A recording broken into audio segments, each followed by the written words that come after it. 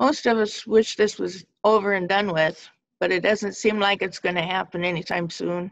Um, you know, they're just now opening up our restaurants and some stores, but it, I don't venture out unless I have to. I'm not going to a restaurant. And most of my friends, they're not going to restaurants because if we get this, everyone we work with and our family members will have to go into hibernation, as we call it. And we don't want to do that to anyone. That's a really long, long stretch of time.